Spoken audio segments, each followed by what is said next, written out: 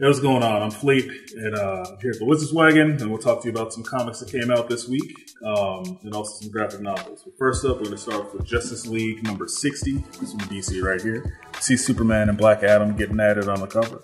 So this is part two of the new run of Justice League, um, where we have we have Naomi, if you guys remember her from uh, it's two years ago. She she debuted. She's kind of like a, a Superman in her own sense.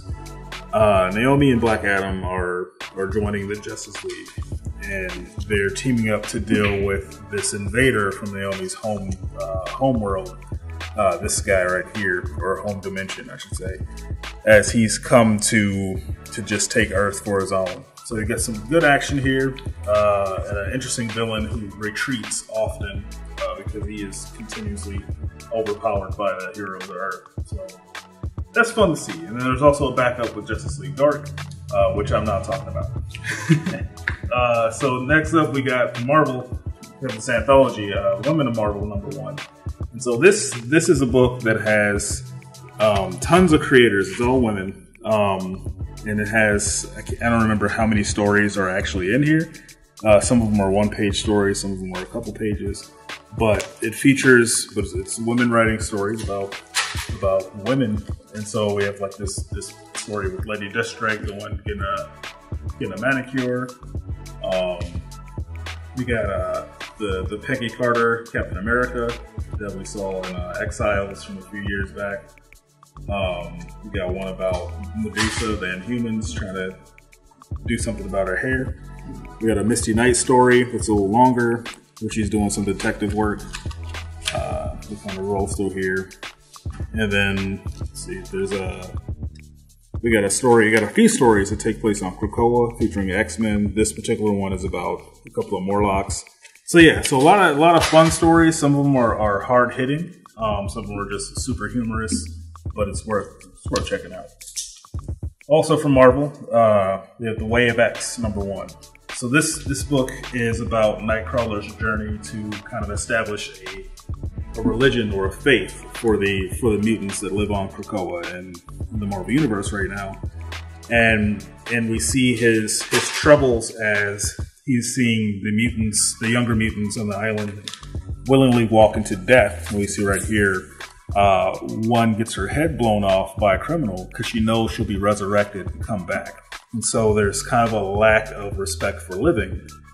And so uh, and so Nightcrawler is trying to to get an appreciation back for all the mutants that live on this island. Whereas they also hold contests where where mutants, depowered mutants, go in battle to the death to earn the right to be resurrected. So he's trying to keep keep keep the mutants from becoming savages, pretty much. So very cool stuff right here.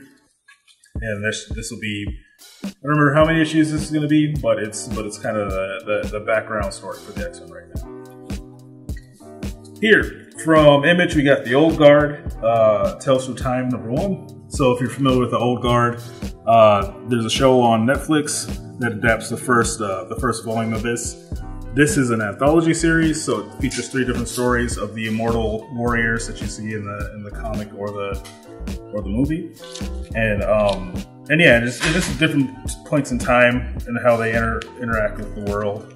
Uh, to just get kind of insight and this takes place in between where I guess information is uh, at least supposed to take place in between the, the, previous two books. So very cool stuff there. Then from Black Mask, we have this book called Alice in Leatherland. So this is about a it's about a woman who who she uh, she's a cartoonist and she was in a relationship. She got cheated on, so she moved out with her friend to go uh, to go be an illustrator on the coast and she ends up uh, getting an apartment with people who are into BDSM and very open about it. And I'm not going to show you all that's going on in the back half of this book because it's kind of wild, but it's worth checking out. And then, last comic we're going to talk about today is "You Promised Me Darkness." Now, this one is is, is real hot off the shelves. Um, a lot of a lot of stores have been selling out of it. So it's a story about um, it's black and white. To give you a heads up, was a story about. Uh, let me show you that. No, I can't show you that. It's a story about uh, Halley's Comet. It comes around the Earth every, you know, it cycles around and it gives people superpowers. Um, but then we have this guy who can barely see right here. His power is he eats your powers and he and he gains them for himself. And he calls himself the anti-everything. And uh, and it's this kind of tragic tragic story because it's being uh, narrated from a weird point of view and it's unclear when it's when it's happening.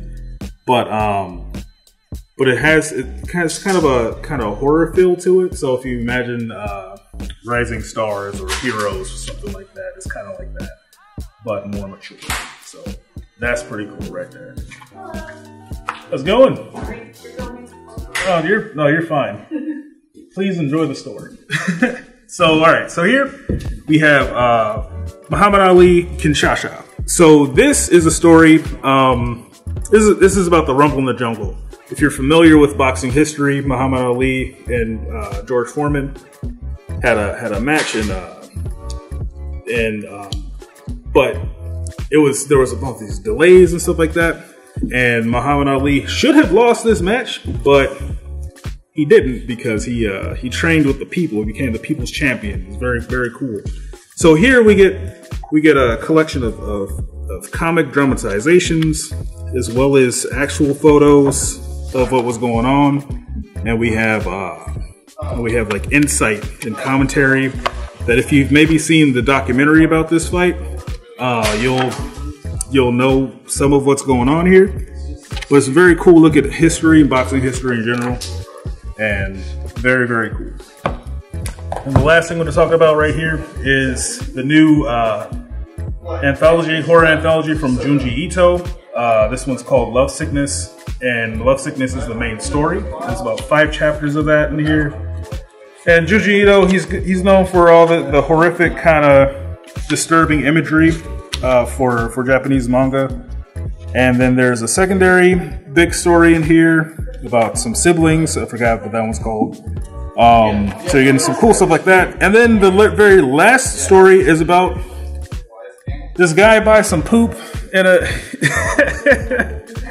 uh, he buys like some fake poop, but maybe it's not fake because it looks real. But it, it um, it's, it's like four pages long, and it's just it's just a crisis of, of conscience for this boy and whether or not he should buy it. So anyway, that's really funny. But I got a bunch of these, and like every other Junji Ito release that comes out, I got what I got, and I probably won't be able to get any more in until months down the road. So get them while you can. And that's it.